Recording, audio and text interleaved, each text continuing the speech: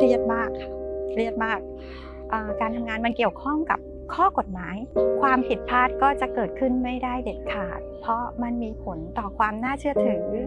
สำหรับการทำงาน บุคลิกเราเป็นคนผมบาง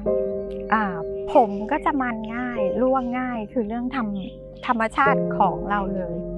ยิ่งคลอดลูกเป็นหนัก ยิ่งร่างกายอ่อนแอผมก็ยิ่งร่วงมากมันมาก ในทุกๆวัน กว่าจะทำผมเสร็จก็ต้องขยันสระเพื่อให้ผมไม่มัน ยิ่งหวีเนี่ยผมก็จะร่วงเยอะมัดกว่าจะเสร็จพอมัดมากก็เห็นหนังศีรษะ ปล่อยก็ไม่ได้ปล่อยก็เห็นหนังศีรษะง่าย ถามว่าในใจลึกๆเราอยากเป็นแบบนั้นไหมเราก็ไม่ได้อยากเป็น แต่เราไม่รู้จะแก้ไขปัญหานั้นยังไง พยายามศึกษาหาวิธีที่ที่อยากให้มันดูดีอยากมี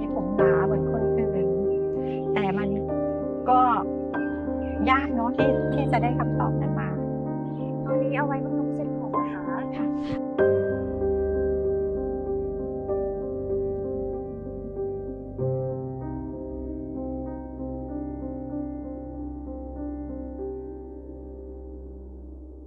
พอได้ทานฮอตซี่ภายในกระปุกแรก ผมหยุดร่วงคือเหมือนเป็นความหวังแล้วว่าฮอตซี่อะได้ผลนะ ผมเราก็จะ ไม่ร่วงอีกแล้ว ผมเริ่มขึ้นกระปุกสองกระปุกสามลูกผมจะขึ้นไม่หยุดเลย หลังจากทานฮอซี่กระปุกที่สี่ลูกผมที่มีมีมากขึ้นแล้วก็ยาวมากขึ้น รู้เลยว่าฮอซี่มันมันมีผลได้ผลเห็นผลชัด ก่อนหน้านี้ใครๆจะทักว่า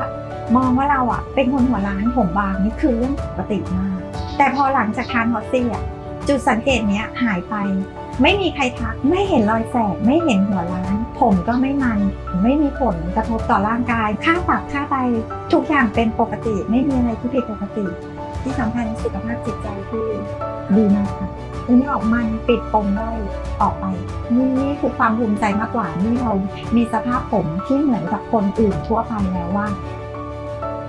สำหรับคนที่มีสุขภาพปัญหาผมที่ไม่ดี ขอให้ฮอซี่เป็นทางเลือก สำหรับผู้ที่มีปัญหาจากปมด้อยที่เราไม่มี เราก็ไม่ต้องพังเรื่องผมที่จะล้านหรือจะบางหรือจะร่วง ก็จะได้มีเวลาไปทำอย่างอื่นในชีวิตประจำวันมากขึ้นพอซี่ดีมากเลยค่ะสี่เดือนเห็นผลแน่นอน